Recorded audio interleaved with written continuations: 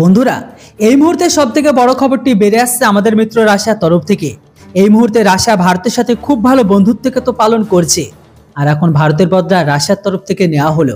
আপনারা তো সবাই জানেন, পাকিস্তানের মতো দেশের কাছে খাবারের জন্য একটি দানা নেই।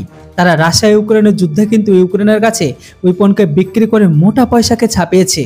আর ইউক্রেনকে চুপি চুপি ভাবে উইপনকে সাপ্লাই করে রাশিয়ার সঙ্গে শত্রুতাকেও বাড়িয়েছে। আর রাশিয়াকে ধোকা দিয়েছে তারা। অপরদিকে পাকিস্তান আবার ভারতের সাথে করা সিজফায়ার এগ্রিমেন্টকে ব্রেক করেছে। একরকমভাবে তারা ভারতের সাথে ধোকাও করেছে এটিকে নিয়ে। অন্যদিকে আবার পাকিস্তান আন্তরাষ্ট্রীয় স্তরে জঙ্গি হামাস আর ইসরায়েলের মাঝে চলা যুদ্ধকে মুদ্দাকে নিয়ে, সেখানে গিয়েও কিন্তু কাশ্মীর মুদ্দাকে বারবার ওঠাতে থাকে। কিন্তু পাকিস্তানের এখন এই সমস্ত ভুলের সাজা রাশিয়া দিয়ে দিল তাদের। এই মুহূর্তে সব থেকে বড় খবর এটাই যে রাশিয়া পাকিস্তানকে দেওয়া তাদের অস্ত্রকে ফেরত নিচ্ছে। পুরো বিষয়টির উপর একটা আপনারা স্ক্রিনের উপর কিন্তু আর্টিকেলকেও দেখতে পাবেন। যেখানে রাশিয়া পাকিস্তানকে দেওয়া তাদের হেলিকপ্টারের ইঞ্জিনকে রিটার্ন নিচ্ছে।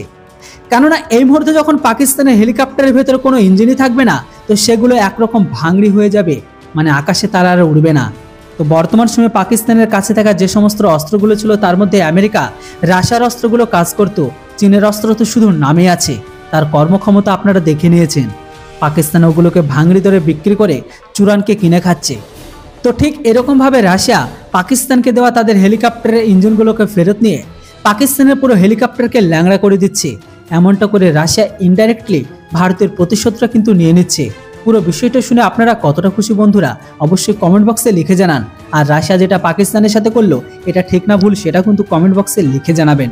ইসরায়েল আর হামাসের লেটেস্ট আপডেট পাওয়ার জন্য অবশ্যই চ্যানেলটিকে সাবস্ক্রাইব করে রাখুন। Thanks for watching Jai Hind, Vande Mataram.